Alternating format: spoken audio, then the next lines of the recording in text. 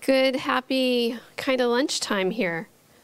I am Heather Dahl, and I head up Indicio. And with me is Mike Vesey, who leads IdRamp. And together we're here to talk with you about using open source for verifiable credentials.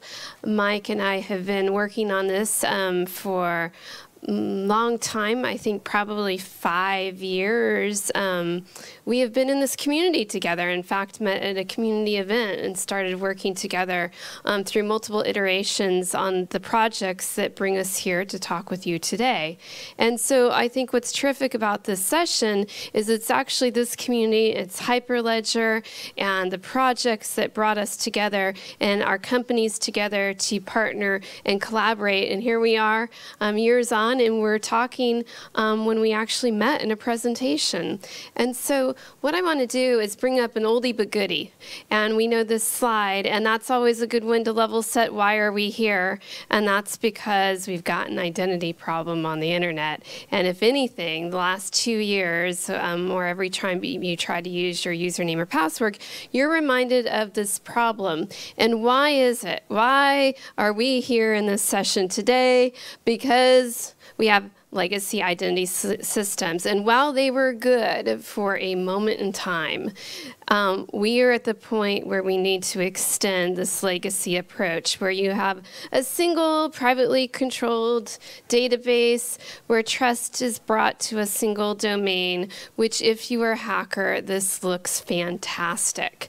But if you're us and you're those who want to have the ability to control or manage or share your information without a gazillion direct database integrations, and you also want to reduce your risk because you're looking at a zero trust framework, this is not your friend. And so, what are we going to do? Well, this is not what we want to do anymore. We want to take this world of duplicated identities, duplicated username and password, duplicated everything that's causing us headaches, and we want to move to a decentralized approach. And that, this is why we're here talking about verifiable credentials. Um, that's because think about it as the human or the device or the organization or the entity sits in the middle, and they have the ability to be the conduit of their trusted, verified, and authentic data. So what we talk about here is a trusted digital ecosystem. This is more than just two parties on a direct integration, you have to think about the space of verifiable credentials as a full ecosystem. If you don't have the full ecosystem, you have a one-handed handshake. I think for many years in this space, we were really, really focused on the issuer, or we were really, really focused on a wallet. And then people are saying, well, it's not getting adopted. And you go and have a conversation, they're talking about my wallet, my wallet, my wallet. Okay, you've got a wallet what can you do with the wallet? Or the talk was about the network, the ledger, the ledger. You got a ledger. Now what are you going to do, right? So a trusted digital ecosystem brings all of the components that you need for scale and adoption together. And if you are not in a system or you're not thinking about how do all these components, an issuer, a holder, a verifier, a ledger, and then like a mediator, your schemas, etc., if you're not thinking about it in one entire picture, you got a one-handed handshake and your scale and your production is only going to go so far. And so what we see when customers are looking at buying verifiable credentials, they themselves are looking at a complete ecosystem. These ecosystems are privacy by design. The ecosystems are designed to scale and really solve the problem around security, remove direct integrations. Um, businesses and governments are using this model, and we can get into some of those use cases, and really Mike's going to dive into those. So one of the important things I always talk about is in when I became er, involved in this um, quite a while ago, how did I get involved with um, decentralized identity. I actually got involved with it from a security side. I was working on security solutions. And it was on the very early days when we were developing what is now known as the Zero Trust um, framework. I was working with John Kindervag at Forrester, who helped drive Zero Trust forward. And when we were looking at that was if you were going to use a, a never trust, always verify approach to your framework, well, are you going to go trust an identity that's once again on a centralized database. So the idea behind verifiable credentials and decentralized identity, in that in that um, perspective, really drove at the fact if you're never going to trust and always verify, you're going to use a decentralized approach to the identity to verify. And so if you're developing a zero trust framework, um, decentralized identity is the salt and pepper. You pass them together. And so with that, I'm going to turn it over to Mike to pick up from here. Thanks, Heather. Great. Yeah, and I'll pick right up from that uh, from that excellent overview. So what Heather was describing was really um, the uh, another building block, right? It was another component that we can use in our identity strategies, and um, and decentralization is coming. So let me give you a couple of um, uh, uh a couple of market view um, ideas first. So. Not sure we had this slide. Let me just get through this. All right, so here's where I want to start. The market views is great. We're going to get to that a little bit later. Um, as Heather was mentioning, these building blocks used for uh, identity composition. Interesting thing happened this spring at EIC. Martin Kuppinger, Cuppenger Cole, actually coined this new term, composable enterprise. And he was talking about creating these building blocks, these recipes that, that organizations and enterprises can use to build their identity strategy and their authentication flows. And so some really interesting things came out of that. We're hearing the same types of, of message that, that we've known and been promoting for a while. And now it's being adopted by the analysts. The analysts are kind of seeing the value and the opportunity of, of having um, organizations be able to really tailor their own experience. So some of the things, you know, plug and play, obviously, and easy to integrate. Um, chain of trust ecosystems, as Heather was talking about, organizations are looking at creating their own ecosystems um, around decentralization. But that's great. We have to be able to integrate that into existing uh, technologies and existing ecosystems today. So it's awesome that that that, that uh, Cole got behind this and really said, hey, the organizations that we're working with really need a, a more granular way to deploy their authentication, their access schemes. Then another interesting thing happened. Gartner came out with a quote that reads pretty much the same way. They're saying in the very short, uh, in the very near future, there's going to be these, these, this notion of decentralized identity, and people are going to show up with identities, and you as organizations have to figure out how to deal with it, right? So we're seeing this across all different sectors of, of the uh, it's not just limited to uh, enterprise, it's also public sector, fintech, health, utilities, the full, the full spectrum. So really interesting now that we have two of the major players in the analyst space that are saying, hey, you guys have to have a strategy for decentralization because it's coming. And, uh, uh, and so we think it's very interesting to, um, to lean into that with some of the technology that we've been developing. So Another thing that we have as a benefit here is we're building these trust ecosystems and it helps on every aspect. So it helps us with um, the decentralization, sure, it helps us following those standards, but also when we're controlling that data in a more privacy preserving way, it helps to accomplish all these other things that we, we hear so much about. GDPR is much easier when you involve the holder, the, the user, you and I, in the transaction. So a lot of really good things uh, are going to come out of this, and it will make some of the compliance stuff that we struggle with uh, all the time much easier. Okay, and now I think uh, I was ready for that market message, but we're going to start talking about some tactical uh, projects. And this is kind of this is fun for me because every time we do a presentation, um, people always look at it and, and, listen and they go, yeah, great, you know, we can build this technology, uh, but how do we use it? Is anyone really doing anything with decentralized technologies today? And the answer is yes, they are. And I'm actually really happy to talk about some projects that we've been involved in with the Indicio team and, and others uh, trying to, to, to put some real rubber on the road and get some real world transactions out there. as of today, the state of North Dakota in the U.S. is uh, is issuing a verifiable credential to every single graduating senior, and those graduating seniors can take and, and that that credential is being issued by by the state of North Dakota. Uh, but if I, as a university, want to verify the information contained within that credential, which is the student transcript, whatever else they decide to, to put in there, I don't have to have any kind of association with the state of North Dakota. They're writing this to a public ledger, so it can be verified by anybody that has access to that public ledger and, and has been granted uh, access to, to verify against it.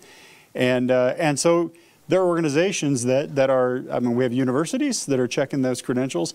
We have employers that are looking for uh, transcript information or high school education information.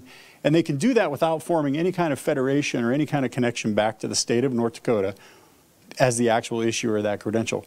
That's really that, that triangle that Heather was showing. That, that's, that is, this is it, right? This is the reason we're doing this because it makes the verification so easy uh, to get that trusted source. And of course, all the, you know, the, the crypto behind that and everything is all just, it's, it is what it is, right? We, it's proven because the technology is, is solid. Uh, all built on Hyperledger Indy Aries. Uh, so, and if you want to learn more about that project, on Wednesday, I'm, I'm doing another thing on that, um, uh, on the, as part of OSS at the Trust Over IP something. We're going to get a little bit deeper into the North Dakota education and actually show those screens and show that in process and how it's working today in the wild.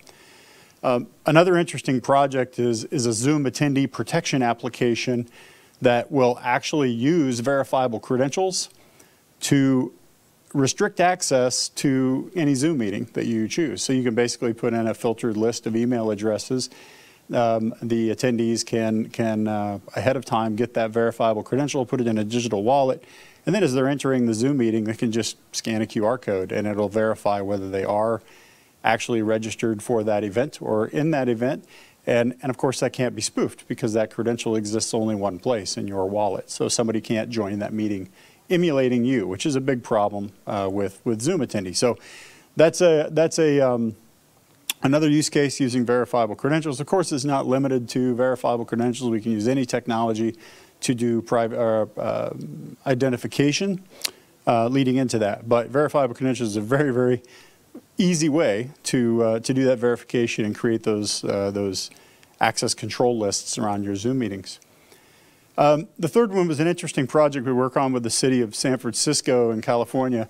We did a pilot with our partner Oracle um, to show verifiable credentials replacing existing authentication for some of their public sites.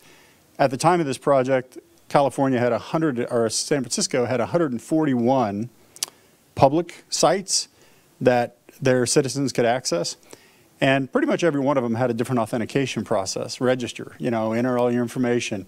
We're going to give you a password. So imagine being a resident and trying to sort through 100 plus credentials just to interact with your state government in about a month, we took a, uh, a system and we issued a, a, an onboarding so that they could generate a city identity and issue that to, to their citizens to be held on a wallet on their smartphone. And then using IdRamp, we, we retrofitted all 140 of those sites to use, because they were all traditionally federated, right? They all had the ability to do SAML or OIDC or OAuth or something. They just didn't know how to do verifiable credentials. We were able to build a bridge between those and retrofit all 140 of those sites to be able to consume that citizen ID credential that we took. And we did that in like 30 days. So it's still in pilot, hasn't made it into the wild yet, but you're going to see things like that coming at you in the next few years as as public sector ramps up their use of verifiable credentials, uh, there are going to be many of these types of experiences which give you the ability to not only hold the information needed to authenticate, but also give consent, right? And it's a very important thing. When you scan a QR code or something to interact and log into a site, you are the one that's going to give consent. Hey, this particular state service is looking for these three pieces of information. Are you okay with sending them? And you can say yes, or you can say no. But Google isn't saying yes or no for you, right? That's the important takeaway from this. So incredible technology for privacy preserving authentications. It's coming fast and uh, we're thrilled to be in the middle of it and doing some work in that, in that uh, area. the last thing is really the IdRamp product I've, I've mentioned. We use that to kind of put all these things together, but um, IdRamp is just a, a platform that allows you to plug in any identity source, plug in any service using traditional federation protocols, and uh, and we can you know turn your identity sources into issuers, turn your services uh, into or turn create credential-based verifications in front of all your services, writing the existing rails of traditional federation protocols like SAML, OAuth, and ODC. So, um, all right, so um, this is the, I apologize guys, I uh, have the wrong presentation because this is going through um, many different slides that we cut out. So let me just get through these and hopefully we have our summary, uh, summary slide. So again, that's more detailed information that I'm going to present on Wednesday. Um, not, uh, not relevant here. Um, so in summary, decentralization means we're ending, right? Passwords, we're ending um, all of the uh, all of the things that go wrong with that.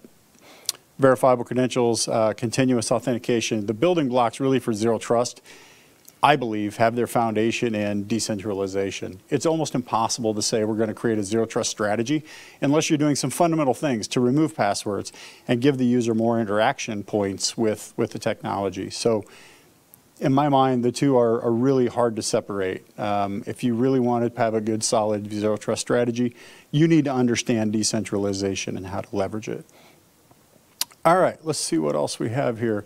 All right, uh, at this, so some of the projects that we're leveraging, and again, this is um, uh, a lot of work that we're doing with the Indicio team. They are much more active in a lot of these projects than, than we are and uh, doing some great work. But these are all the different open source projects that we're leveraging and working with on a day-to-day -day basis. And um, uh, really recommend you get involved in those and, and, and learn more about what uh, is happening because there are some really cool real world solutions that are happening today. Uh, some meetups, Here's places you can get involved, and Indicio holds many, and they're brilliant. They're excellent. Um, we hope to be uh, doing a meetup with them. I think next month. I'm not sure, but we'll be uh, we'll be involved in some of these as well. So, really great stuff. And I think um, the the take oh, the final takeaway is decentralized identity is ready for adoption now. It's not something that is still being worked on. Uh, you can you can build your ecosystem you can leverage it and integrate it into your existing uh, identity strategies today. So with that, I'll thank you and we'll take some questions if we have some time. Yes, sir.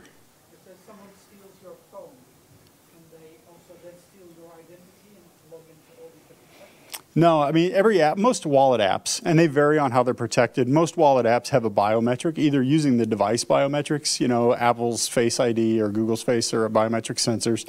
Uh, but you can certainly integrate your others. I do know there are certain wallet projects that are using uh, more strenuous uh, checks on that. But if my wallet, if I handed it to you right now, would do you no good. You wouldn't be able to unlock it um, because it's protected.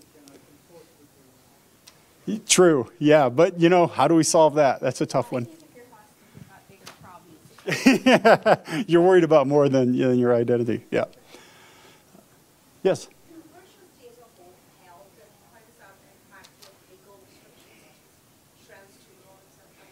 Sure. So the, the data in the credential itself is held only on your device. That's the only place. So the when the credential is issued, it's issued from your data source, right? So you can have a, you can either say we're going to generate this based on biometrics, based on whatever, or you can say because you're part of our organization's directory, we're going to give you a credential for your employee ID. When that process happens, that information and that credential only lives on your smartphone. That's it. It doesn't live anywhere else. We take an associated record of that, we take that, that public key and we write it out to a ledger so that it can be verified. But the data itself never goes anywhere other than on your device. Uh, they're globally deployed. Heather, I'll let you take that because that's more. The yeah, the the projects are globally deployed. So within the governance, you can also establish, for instance, if you don't want the data held in the United States or it has to be held within a certain geographic region, on the side of compliance, um, the important thing is we do work with a number of governments, and the key there is when they accept um, information from a credential, they still put it into their systems for the instance of clearing a border. They, for instance, the government of Aruba has to hold your data for six months when you visit the island as a tourist. And then there are instructions that they have to remove the data.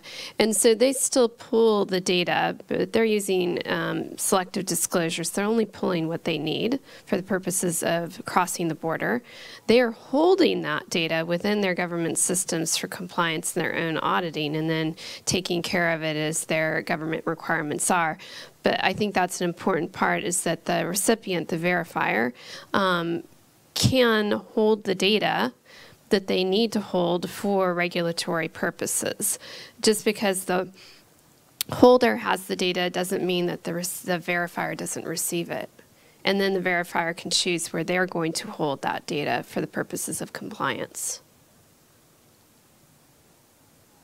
Any other questions? Yes. Uh, What about if you're incapacitated? Say you're in Right. hospital and you are not responsive and you need to identify yourself in some system or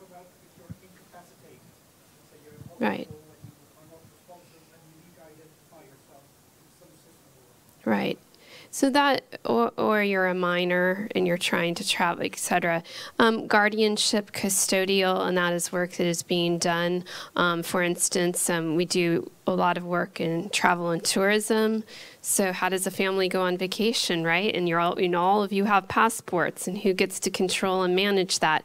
And so that is work that is actively being done for the purposes of use cases that they're trying to get deployed. But the concept behind that would be the guardianship um, component of the credential of the wallet. And then what happens when when the minor turns 18? And so how do you make that transition as well? And that's a big issue in education that we've had to deal with as well, because, mm-hmm. you know, when we talk about issuing education credentials, a lot of times you are dealing with minors, right? And there's certain regulations that, that require you to handle that. So you're gonna see a lot of evolution in the Okay, guardianship. like guardianship is a smart contract with a. Correct. Yeah, it'll- it'll fuse those- baked. Yep, that's exactly right. It's gonna mm-hmm. fuse multiple technologies actually to give you the, the ability to do that guardianship. Where we see a lot of organizations is what we call start simple and then scale. So they often start with the simple, you know, one person, one credential, and now they're at the point where they're realizing to scale, they have to work through the guardianship challenges and, and production deployments. What if you're a lawyer representing a client? Mm-hmm. Mm-hmm. Absolutely. And one of the areas, um, we don't have the slide up here, but the Cardea project, Linux Foundation Public Health, um, they focus on medical health credentials. So that's a group that is often talking about this issue and working through it. So that may be a, a um, meeting that you may want to join on Thursdays. It's Thursdays at noon Eastern Time. Mm-hmm. Yeah, a- and the interesting, you know, kind of the, for me, the takeaway is, it's so easy to get started, and I think a lot of people are, are really trying to look at the forest. You know, they're trying to get their hmm. head around the entire, how does this work? And, and the guardianship, the great questions, right? This is great thinking, but the takeaway that I really want to express is, you don't need all that stuff right now. You can move the needle, right? You can eliminate passwords in 20 minutes. It's so easy, right, using this technology. And you've got to start there. And as you start and you build your ecosystem, as Heather was saying, things just naturally evolve. And you end up with you end up with this great. You're building a better identity, right? As you as you're doing this, but but don't think you can't start because it's so overwhelming. You don't know how to solve guardianship. You don't know how to solve all these problems. You can start right now and make some real differences, right? Just by starting small. Yes, sir. And related with what you said, like in the case of like North Dakota, for example, how much convincing does it take to get government organizations to be like, to embrace the product you have? Was it difficult or were they were still? Yeah, I mean, the tough part, honestly, is, is the technology conversations are still happening. So, um, we will eventually get to the point where the technology and the soundness of the technology is a given. Public ledgers are embraced, and, and then we move past that and we start getting to the business conversations. Right now, it's, it's a little difficult, some of the conversations. Um, most of the larger enterprise organizations say, yeah, this is really great, build us one, you know, build us this thing. And, And that's what Heather was saying, yes, if they want to build their own ecosystem, great, because it really doesn't matter. We have the ability to, you know, do some routing. This is just like TCP back in the days, you know, when TCP IP came out, um, it was earth shattering, right? And we're working on right now the technology to, to allow these ledgers to, these credentials to really trans, um, transgress all these different ledgers. So it doesn't matter. If, if an organization comes in and says, hey, we want to build our own, great, build it. I don't care. If you're okay with using a public ledger like North Dakota did, awesome, use it, right? So that's usually, at least historically, that's where we see the biggest tripping points, is they're so concerned about the granularity of the technology that they, they have some paralysis in the deployment because they're, they're overthinking it, right? And my, to my point, don't overthink it, just do it. Mm-hmm. And if it doesn't work for you, then stop doing it. But I guarantee you, if you go through a process and hook in an existing directory of something, users of whatever it is, and you issue a credential based on that, you're gonna find a hundred different ways that you can leverage that in a decentralized way that you haven't thought of, because it's too hard to build those existing federations. And once you do that, you're on your way. So, start small, start now, and Education is a crucial part of this in the business development sales cycle. Um, as a result of that, and the needing to, it's not just one or two conversations. You often are in multiple conversations, and I would say the majority of that is education. It's not even um, showing the comparisons and the value prop. It's here's how it works. And one way to help shorten the sales cycle is, and Indicio has created a number of workshops, even down to one hour for executives. And any, it's available for anyone to come to the website and engage with those. But the idea there was that's what is being used to, sh- to shorten the sales cycle on this technology and speed up the adoption, just simply educating in a, consecu- in a consistent manner. Hi. Yeah. So, you know, so I think like technically it sounds very good. Right. But we also done a lot of business in this space. So how do you make money on this? Like who is, uh, how are you like, uh, making sure that uh, you realize revenue? Is it a subscription model, or is it pay per use? Or uh, is it per transaction? Are you talking about the organizations that adopt it, where they see the value? Is that what you're referring to? Yeah, like for example, you're running right? Organizations Sure. that are adopted, like So- travel agency, and I want to go that I'm a citizen of so and so. Who pays for that? Is it the, is it the owner of the credential paying to present the credential? Is there a- Right. there's a transaction that is like, uh, So I'm going to say all of the above. It, it, there are multiple ways to monetize within the system, and you can use all or none. And I'll talk about why I say none.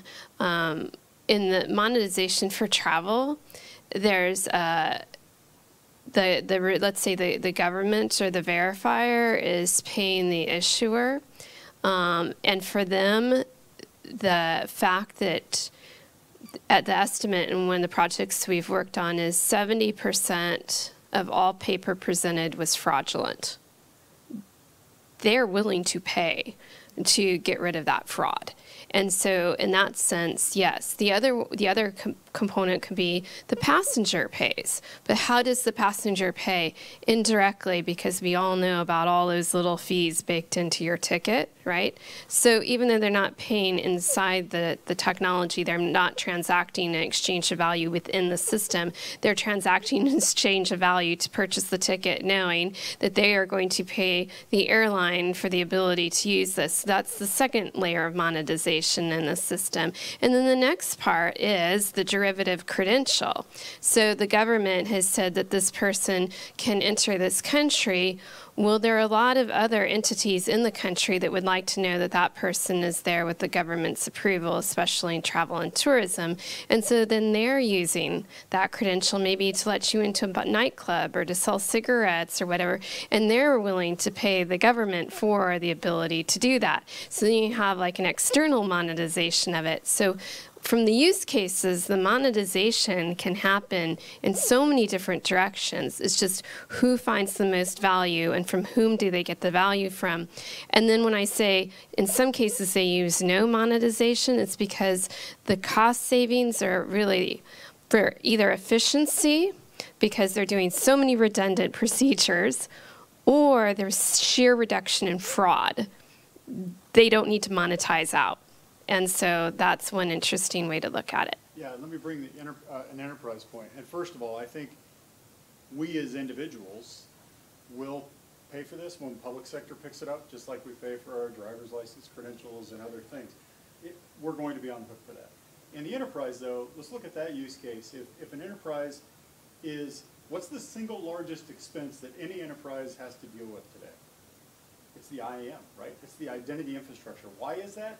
Because thousands of users come through that for absolutely everything, whether they're logging in or they're accessing uh, an application, they're all coming through that single point, which means I think it's very dynamic. It's constantly scaling up, scaling down, massive amounts of money. If I say, you're an employee of my organization, I'm gonna give you a credential that's stored on your phone, and you can now log into all of your applications using that credential, I'm not backhauling that information to the IAM anymore. I'm saving thousands of dollars every day on the auto scaling that happens to that IAM infrastructure. I'm insulating myself from outages, so there's cost savings there. I'm not calling the help desk to reset my password because I don't have one. So there's massive, massive savings that the enterprise can realize right now, you know, with deployment of this technology and integration and decentralization. Oh, Sorry, one more question. I know you you mentioned IAM now. So what is your global footprint at the moment on the alternative provider? So you mentioned IAM first, for America, US, and specific. What's the global footprint? Decentralization, as Heather was referring to, there are many public networks now that are, that are worldwide. Uh, the Indicio network is, gosh, I don't know, how many nodes, Lo- lots. Yeah. And, and so, and you can jump in and participate on that, so it really tears down those borders. Um, Where IdRamp comes into it, we're, we're really highly specialized in taking your existing identity, whatever those silos are, plugging them in and really decentralizing those. So eventually we'll start adopting these public sector identities as they come on the market. You know, we're looking at the eIDAS very carefully. Um, I know there's some work to do there yet, and, um, there's similar initiatives going on. So I'm hoping I'm answering your question. Yeah, I just want to know what footprint you have on it, right? But, Yeah. Yeah, global, and there are many, and many networks. There are European-specific networks, there's, uh, I don't know if there's a US-specific networks, but they're all over the place, you Yeah. know, and, and it's real easy. The Indicio team, I think, we worked on a project, a citizen project actually, with Oracle, and, uh, the Indicio team cranked out a network running in Oracle's environment for us in forty-eight hours. I mean, it was stunning, right? We went from, hey, here's an idea we have, to having our own network that we could control and contain in forty-eight hours. So it's really, really easy to do this stuff. Yes? Just a thought to share. Uh, I think on, on the network side, uh, I believe, again, based based on what we are looking at, that probably at least sovereign nations would like to contain everything on their own. No matter how much your client tell them, you know, that what is stored is not being stored. I don't see, and in, and in one number of conversations, I work for the UN, United Nations, and number of conversations we're involved in, no sovereign nation is happy to say that this will go cross-border. And, and I can empathize with that, you know, because when you're looking at application of national laws, you know, Right. for hundreds of years, we don't agree on what kind of electrical outlet we need to have, and we all carry our adapters. Uh, so I doubt there'll be one network to rule them all. So in my humble opinion, I think the biggest thing is actually the interoperability of the credentials. I think that Absolutely. is going to be very, very, very crucial for, for decentralized IoT to be successful.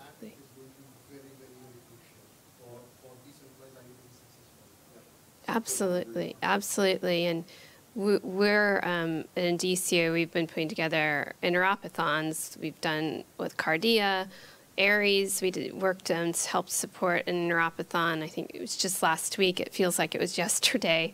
Um, but I encourage you to look for these interopathons, if not to participate, but just dial in for an hour and, and listen and watch what's going on because it's fascinating um, to take what you hear in these sessions and actually see it going on in front of your eyes with m- multiple enterprises, organizations, institutions on there showing what they're doing and having their credentials um, passed between wallets and being verified by each other. Even if it's not use case specific, they're trying to prove the interoperability of what's underneath. Yeah, yeah, that's great. And, and that North Dakota project does just that, right? We have one company that's acting as the issuer, and there's multiple organizations that are creating verifiers for that. And it's only possible because those Yeah. credential formats are so interoperable the standard. So there's, it's certainly early days on that, but you're exactly right. That is the, the future. Uh, once we, once we get everybody marching the same direction, uh, on credential specification, then it's, uh, uh, and that's, and that's not that far away, right? I mean, I think this is coming fast. So, again, how do we expedite it? Get involved, right? Everyone in this room, get involved. It's easy, it's cheap. Um, there's no heavy lift. Just take something you have, plug it in, and, and start using it. And now you're, uh, you're part of the solution, right? Because you're helping drive usage. Yes, sir. Some countries rely on centralized diagnosis for funding. I'm sure uh, other nations or that rely on centralized diagnosis. But my point of experience, kind of carry a driver's license to other places. They want to see my passport, right? So, uh, that is where I see a lot of issues with some of our towns. It might be probably easy with EU and uh, Western Europe and the West, uh, very flight, for example, I use that all the time to prove I'm vaccinated for a flight. But I, I, I, I see the challenges of getting into a program out. I think I think there will always be outliers. On the question of the Middle East, in the last couple months, I've been very surprised on the approach from nations in the Middle East, especially those that want to attract tourists. They're very sensitive about the outside perception of what governments do with their identity. And therefore, to open up their tourism, they're looking at moving to verifiable credentials for maybe not their own citizens or residents, but maybe for tourists and people visiting their countries, which is very interesting because I wouldn't have expected that even six months ago. But maybe that's the crack in the door for countries that may not want to apply it to their own citizens, but they're starting to look at this in order to open their economies for travel and tourism.